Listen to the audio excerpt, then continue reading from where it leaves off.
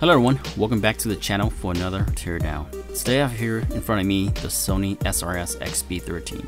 This speaker was released back in June of 2021 with a price tag of $59.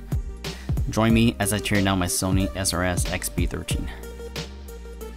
The Sony XB13 is definitely a pain to take apart as Sony pretty much glued this thing shut. Therefore, I'm just going to give it two flick of a finger and it should magically pop open.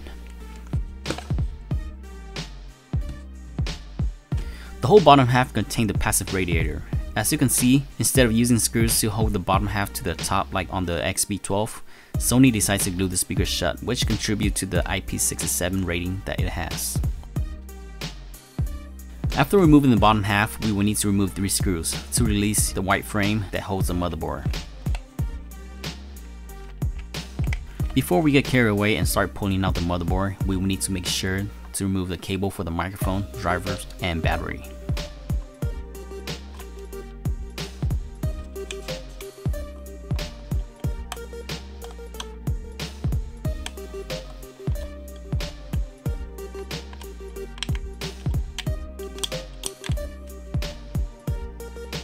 After the cables are removed, the whole motherboard can come out without any issue.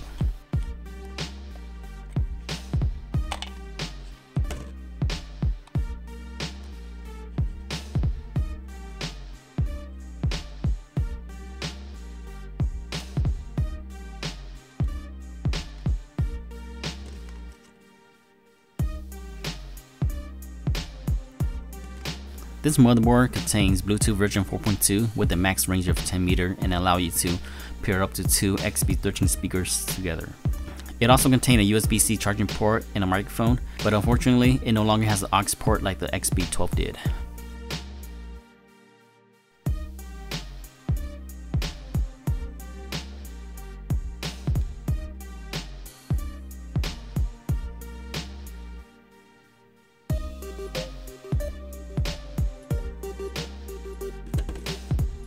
Next, we will need to remove four screws to remove the driver and battery.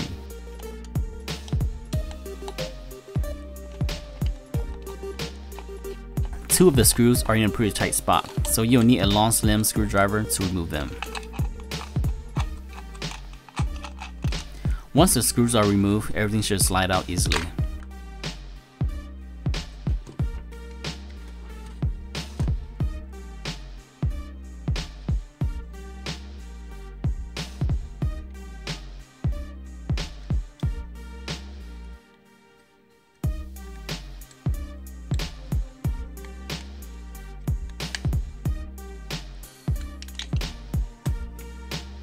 Here we have the 46mm driver that pushes a total of 5 watts.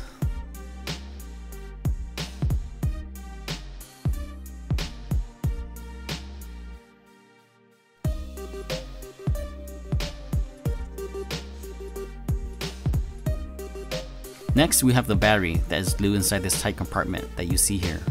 This battery has a total capacity of 1400 mAh with a total playtime of up to 16 hours.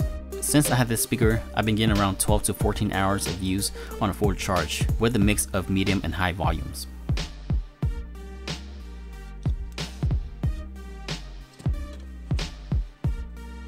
And here we have the body of the XB13. The plastic felt pretty rugged, so it should be able to withstand accidental drop and daily usage just fine.